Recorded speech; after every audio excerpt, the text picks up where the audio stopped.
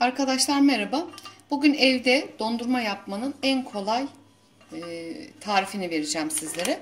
Bunun için e, iki paket e, sahlebim var. 1 litre sütümü tencereme aldım. Tam 1 litre süt. Burada bir su bardağından şöyle bir parmak eksik şekerim var. Şeker oranı tamamen size kalmış. Daha az kulpta kullanabilirsiniz. 2 paket sahlebimi de döküyorum. Bunları kolaylıkla marketlerde bulabilirsiniz. Malzememiz sadece bu kadar. 1 litre süte 2 paket sahlebimizi koyduk. Tenceremizin altını açtık. Şimdi bu şekerle sahlebi iyice kaynatacağız arkadaşlar. Sadece bu kadar. Ondan sonra e, buzdolabında bekleteceğiz dondurmamızı. O biraz meşakkatli çıkarıp her saat başı çıkarıp dondurmamızı karıştıracağız. Çünkü buzlanmadan dondurmamızı dondurmamız gerekiyor. O aşamaları da göstereceğim arkadaşlar. Arkadaşlar devamlı karıştırıyoruz. Çünkü karıştırmamız gerekiyor. Daha güzel olması için dondurmamızın. Ee, kaynamaya başladıktan sonra böyle 5 dakika devam ettim kaynatmaya. Şu anda kaynıyor. Hızlı hızlı karıştırdığım için görememiş olabilirsiniz. Kaynamaya başladıktan sonra 5 dakika kaynatıyoruz. Ama karıştırmayı hiç bırakmıyoruz. Şimdi altını kapatıyorum. Bütün yapmamız gereken bu. Evde dondurma yapmanın en basit yolu. Daha sonra meyveli dondurma da yapacağım. Vişneli yapmayı düşünüyorum. Şimdi bunu biraz şöyle kabında soğumaya alacağım. Şöyle biraz karıştıracağım gene. Daha sonra geniş bir kaba alıp ilk sıcağı çıktıktan sonra dolapta buzlandırmadan karıştıra karıştıra dondurma kıvamına getireceğiz arkadaşlar.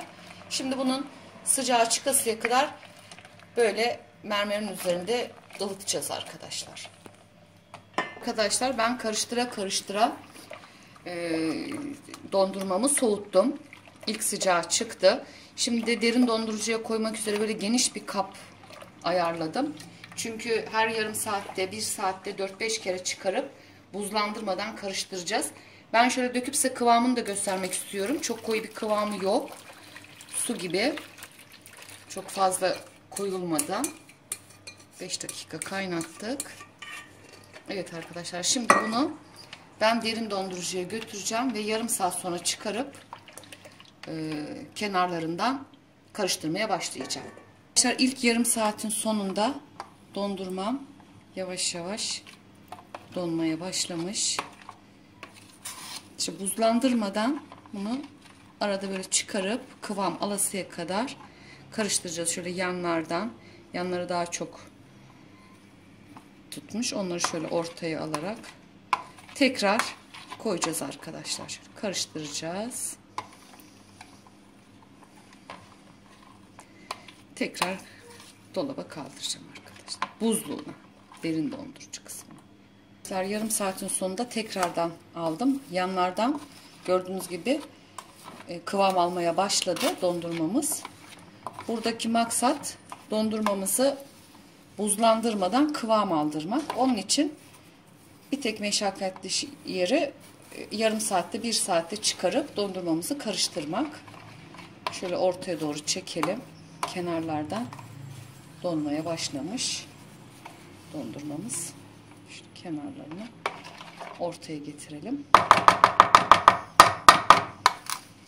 Şimdi karıştırıp tekrar kıvam alasıya kadar karıştıra karıştıra derin dondurucuda bekleteceğiz. Evet arkadaşlar tekrar derin dondurucuya göndereceğim. Kıvamımız artık yavaş yavaş kıvam almaya başladı. Şöyle bir karıştırıp tekrar tekrar derin dondurucuya alacağım arkadaşlar.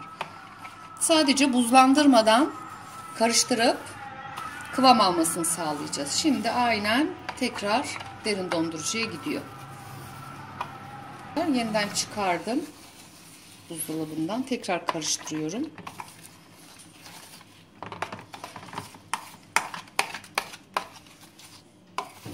koyulmaya başladı.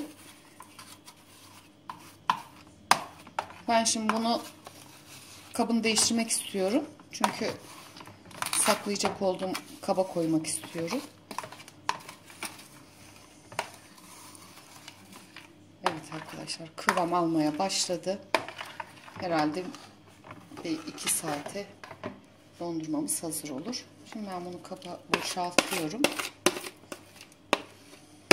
Saklayacak olduğum kaba. Artık bunu da devam edeceğim karıştırma işlemine.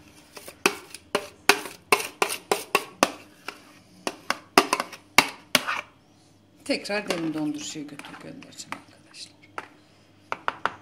Arkadaşlar 4-5 sefer dolapta karıştırarak dondurduğumuz dondurmalarımız servise hazır. Şimdi şöyle servis kabımı alıyorum.